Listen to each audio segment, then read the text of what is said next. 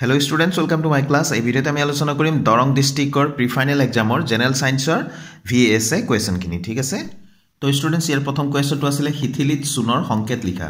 আনচাৰটো হৈ গ'ল চি এ অ' এইচ এনেকৈ ব্ৰেকেটৰ বাহিৰত টু অৰ্থাৎ এইটো কেলছিয়াম হাইড্ৰক্সাইড। কেলছিয়াম হাইড্ৰক্সাইডকে শিথিলিত চূণ বুলি কোৱা যায় ঠিক আছে? নেক্সট কুৱেশ্যনটো লৈছোঁ ইয়াত দি আছে ছডিয়াম ধাতুক কিয় কেৰাচিন তেলত ডুবাই ৰখা হয়? তো আনচাৰটো এই ধৰণে লিখিবা ছডিয়াম অতিশয় সক্ৰিয় ধাতু।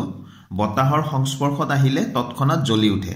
সেয়ে ইয়াক কেৰাচিন তেলত ডুবাই ৰখা হয়। এইটো যদি দুই নম্বৰ থাকে এই ধৰণে লিখিবা আৰু ওৱান মাৰ্ক যদি থাকে তেনেহ'লে ইয়াৰ পৰা লিখিলেই হ'ল। বতাহৰ সংস্পৰ্শত আহিলে তৎক্ষণাত জ্বলি উঠে বাবে ইয়াক কেৰাচিন তেলত ডুবাই ৰখা হয়। ঠিক আছে? নেক্সট কুৱেশ্যন দিয়া আছে তলৰ বিক্ৰিয়াটোৰ সন্তুলিত ৰাসায়নিক সমীকৰণ লিখা। দিয়া আছিলে উত্তপ্ত জলীয় বাষ্পৰ লগত আইৰণৰ বিক্ৰিয়া। তো বিক্ৰিয়াটো হৈ গ'লে এইটো। তোমালোকে ভালকৈ এইটো প্ৰেক্টিচ কৰি থ'বা ঠিক তাৰপিছৰ কুৱেশ্যনটো চোৱা তেল আৰু চৰ্বি থকা খাদ্যবস্তু নাইট্ৰজেনৰ পৰিৱেশত পেকেটত ভৰোৱা হয় কিয়? কিয়নো জাৰণ নঘটিবৰ বাবে। নেক্সট কুৱেশ্যন তলৰ কোনবোৰ হাইড্ৰকাৰ্বনে যোগাত্মক বিক্ৰিয়া দেখুৱায়? তো ইয়াত দিয়া আছে এইকেইটা। এইকেইটাৰ ভিতৰত যিকেইটাৰ দ্বিবান্ধনী আৰু ত্ৰিবান্ধনী আছে সেইকেইটাইহে যোগাত্মক বিক্ৰিয়া দেখুৱায়। তো ইয়াতে চাবা এইটো চি থ্ৰী এইচ ছিক্স আৰু চি টু এইচ টু এই দুটাই হৈ গ'ল আনচাৰটো ঠিক আছে? তাৰপিছত কুৱেশ্যনটো হৈ গ'ল অপমাৰ্জকৰ এটা ব্যৱহাৰ লিখা। অপমাৰ্জক অৰ্থাৎ ডিটাৰজেণ্ট তো আনচাৰটো লিখিবা চেম্পু প্ৰস্তুত কৰিবলৈ অপমাৰ্জক ব্যৱহাৰ কৰা হয়। এইবাৰৰ কুৱেশ্যনটো হৈ গ'ল তেজ গোট মৰাত সহায় কৰা ৰক্তকণিকাবিধৰ নাম লিখা। তো সেইটো হৈ গ'ল অনুচক্ৰিকা। তাৰপিছত কুৱেশ্যন আছে মৌল এক্স পৰ্যাবৃত্ত তালিকাৰ তৃতীয় পৰ্যায় আৰু ছেভেণ্টিন বৰ্গত আছে। মৌলটোৰ নাম কি? তৃতীয় পৰ্যায় আৰু ছেভেণ্টিন বৰ্গত থকা মৌলটোৰ নাম হৈ গ'ল ক্লৰিন। তাৰপিছত কুৱেশ্যনটো হৈ গ'ল চকুৰ উপযোজন ক্ষমতা কি? চকুৰ লেন্সৰ ফকাছ দৈৰ্ঘ্য পৰিৱৰ্তন কৰিব পৰা সামৰ্থক উপযোজন ক্ষমতা বোলে। নেক্সট কুৱেশ্যন পোহৰৰ বিচ্ছুৰণ কি? বগা পোহৰ প্ৰিজমৰ মাজেদি পাৰ হৈ গ'লে বগা পোহৰক ৰঙৰ পটিবোৰলৈ বিভক্ত কৰে। ঠিক আছে? ৰঙৰ উপাংশসমূহৰ পৃথকীকৰণকে বিচ্ছুৰণ বুলি কোৱা হয়।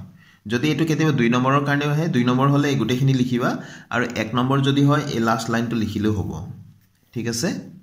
নেক্সট কুৱেশ্যন মেণ্ডেলৰ দ্বি সংকৰণ অনুপাতটো লিখা দ্বি সংকৰণ অনুপাতটো এইটো তোমালোকে ভালকৈ মনত ৰাখিবা। পিউবাৰ্টি বুলিলে কি বুজা? উত্তৰটো এই ধৰণে লিখিবা।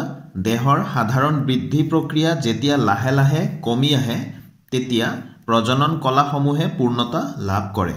কৈশোৰকালৰ এই সময়ছোৱাক যৌৱনকাল বা কন্যাকাল বা পিউবাৰ্টি বোলে। তো কেতিয়াবা ইয়াতে পিউবাৰ্টি বুলি নহয় যৌৱনকাল বুলিও হ'ব পাৰে। কেতিয়াবা যৌৱনকাল নিদি কন্যাকালো দিব পাৰে। গতিকে তিনিটা শব্দ মই একেলগে সেইকাৰণে দি দিলোঁ। তোমালোকে এটা লিখিলে হৈ গ'ল। যিটো আহিব সেইধৰণে লিখি দিলে হ'ল। ঠিক আছে?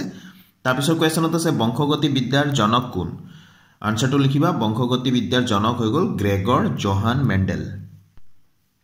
Next question হীৰাৰ প্ৰতিসৰণাংক টু পইণ্ট ফ'ৰ টু এই উক্তিৰ অৰ্থ কি? অৰ্থটো হ'ল বায়ুত পোহৰৰ দ্ৰুতি আৰু হীৰা মাধ্যমত পোহৰৰ দ্ৰুতিৰ অনুপাত টু পইণ্ট ফ'ৰ টু ঠিক আছে? নেক্সট কুৱেশ্যন এক ডায়প্টৰৰ সংজ্ঞা দিয়া।